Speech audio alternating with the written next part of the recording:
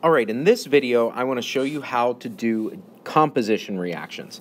Now these can also be called synthesis reactions, they could also be called combination reactions, um, but for our purposes I'm going to call them composition reactions. Now they all follow the same format, A plus X yields AX. A and X can be elements or compounds on the reactant side.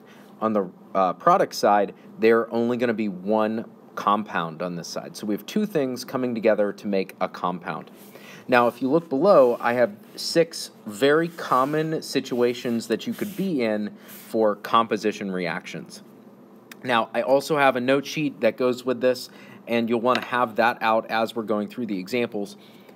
And or you can copy down these six, and then when we get to later examples, you can use that as reference when we're going through problems.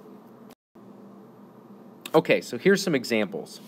So we want to first write out the formulas for what's given. So rubidium is just Rb, and oxygen is O2.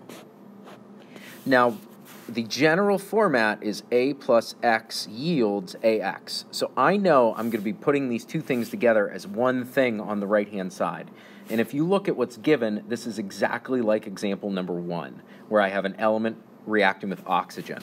So I bring one of each over, so rubidium and oxygen, and I want to cross the charges. Oxygen has a 2 plus charge, or 2 minus charge, and rubidium has a 1 plus charge. So I want to cross those charges.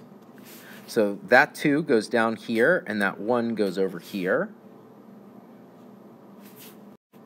But I don't need to write the 1 and that's my formula.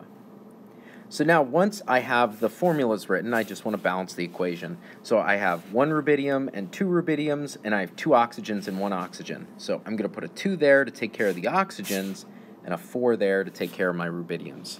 Now let's try the next example.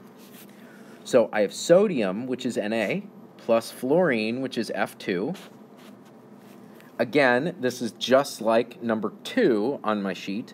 So I want to bring one of each over, and I want to cross the charges. So sodium has a one charge, fluorine has a minus one, I cross, and that's the formula. So now I just need to balance, so I need a two there and a two there. Now for my last formula, I was given barium oxide, which is BaO, plus water. This one's a little harder, and I'm going to rely a little bit more on those uh, examples on the previous page.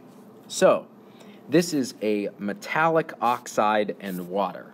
So, according to my notes, it says a metallic oxide and water produces a metallic hydroxide. So, I want to locate the metal here, which is barium, and I want to cross it with hydroxide. Barium has a plus 2 charge, and hydroxide has a 1 minus, so I cross, so I need parentheses, and I have to put a 2 on the outside. Now that gives me two oxygens, but I have two on this side, and two hydrogens, but I have two on the other side, so that's balanced. So for composition reactions, you're going to want to use your notes as a comparison to help you write out those products. If you have any other questions about composition reactions, just make sure to ask in class.